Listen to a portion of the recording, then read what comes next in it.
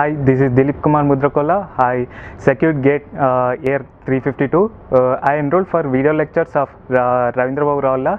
He explained the concepts in every each and every subject in a very interesting manner. He not only explained the concepts in very interesting manner, but also he motivates the students uh, to be in the right track in the preparation journey of the GATE. Uh, my main message to juniors is uh, to take the sh- very short notes uh, of uh, SAR video lectures. It will definitely help in at the end of the exam uh, while preparing for the GATE. Uh, thank you very much, guys.